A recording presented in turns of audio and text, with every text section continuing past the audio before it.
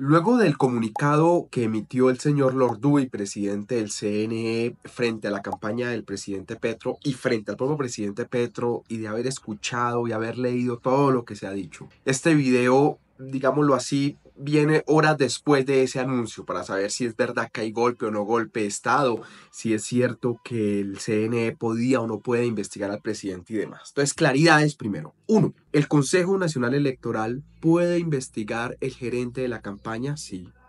Los contadores, sí. Los auditores, claro. Pero no puede investigar al presidente. El presidente de la República tiene un fuero y ese fuero es un fuero que llaman integral y únicamente la comisión de acusaciones de la Cámara de Representantes es la que puede investigar al presidente. De tal forma que al menos el comunicado del señor Lorduy es totalmente desproporcionado y obviamente viola ese fuero integral.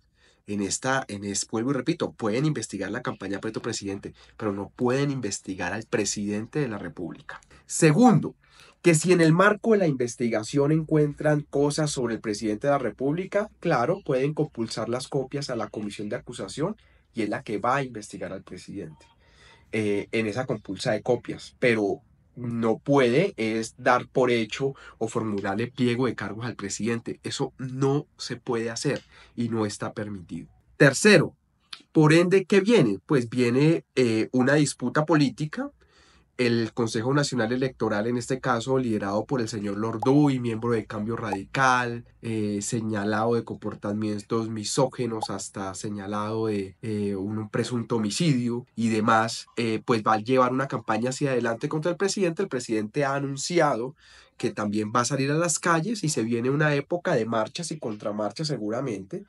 Em, que va a afectar al país algunas semanas. Ya vienen vacaciones de diciembre, así que no va a ser mucho seguramente el otro año, pero pues esto va a llevar a una gran disputa política. Y el último comentario respecto a lo dicho por el CNE. Eh, no solo eh, no se puede investigar al presidente y se viola el fuero integral, sino que lo que está haciendo el CNE es con ese comunicado que leyó, es yendo más allá, extralimitándose, pero yendo a un tema de participación política. Y entonces aquí lo que vamos a ver es un tema de confrontación política entre un sector y otro sector.